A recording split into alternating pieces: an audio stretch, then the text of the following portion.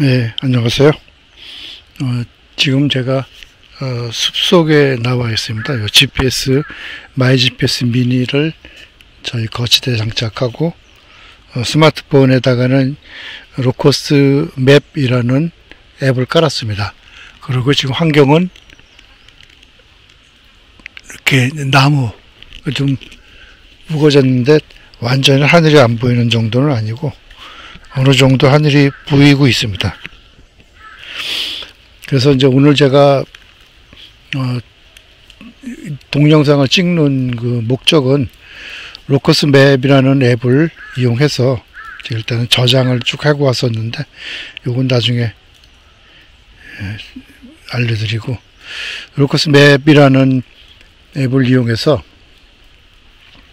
어, 그 사진 우리가 등산을 하다 보면은 이렇게 군데군데 제가 오면서 사진을 쭉 찍고 왔습니다. 이렇게 사진.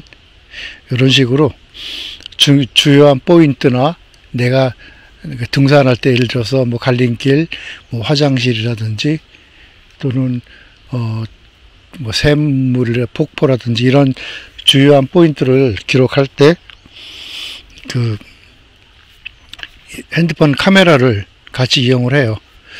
그럴 때 이제 그 사진 찍은 포인트를 어, 여기 보시다시피 어, 오차가 0.01 1cm죠.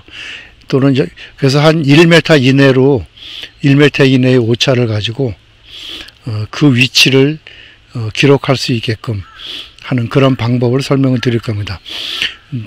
그냥 GPS를 사용을 하시면은 오차가 어, 이렇게 0.01이나 뭐 이렇게 안 되고 보통 핸드폰은 한 5m에서 10m 정도 오차를 갖고 있어요.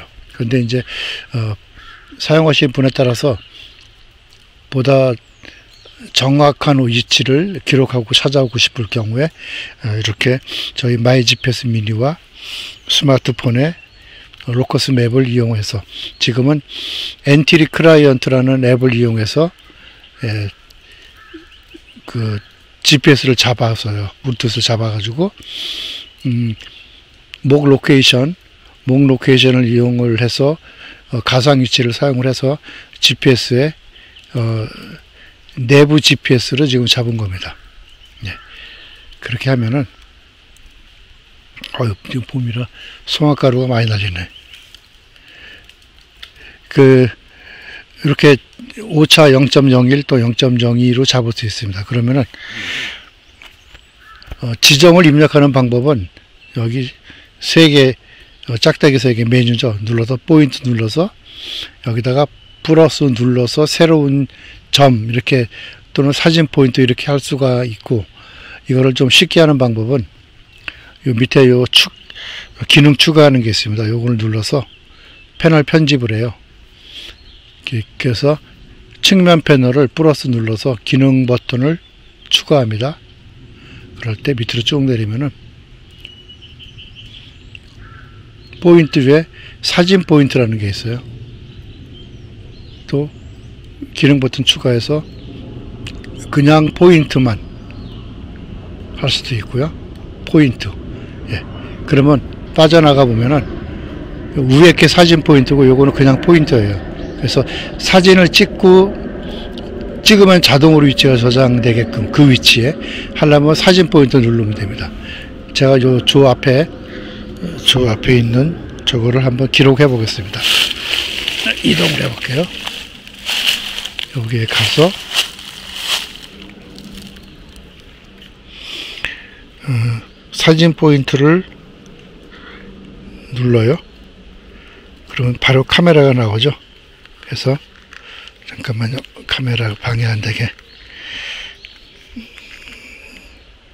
카메라로 요 돌을 찍습니다. 찍었어요. 요 돌을 찍었죠. 확인. 예, 누르고 저장을. 요게 이제 제가 도, 스톤 뭐, 하고 저장을 할게요. 예, 저장을 했습니다. 그러면 자동으로 포인트가 저장이 됐어요. 그러면, 어, 여길 다시 찾아가는 방법, 그거는, 어,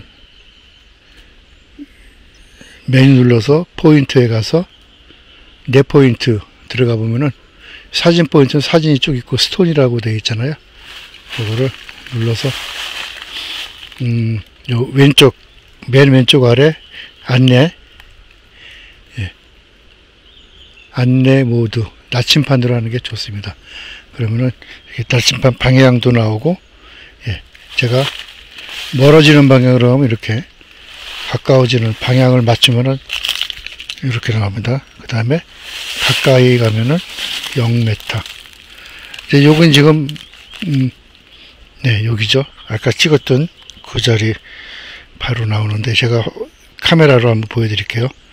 예, 아까 찍었던 찍었던 자리 그대로 나옵니다.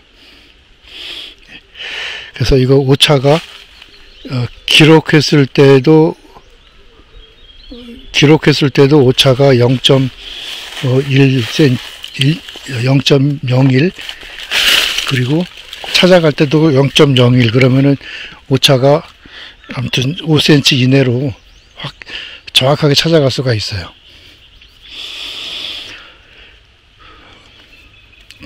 그리고 이제 요 지점 저장된 거는 어 나중에 여기 포인트에 가서 요 오른쪽에 점 3개 메뉴 눌러서 내, 내보내기를 합니다. 그래서 아, 내보낼 때에도 공유 요 체크를 꼭 하는 게 좋습니다. 그래서 공유 그러면은 이메일 네이버 4개 쓰기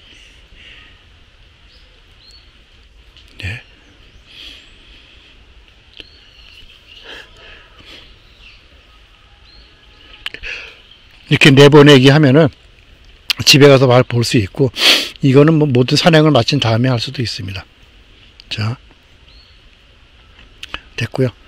어, 제가 조금 이렇게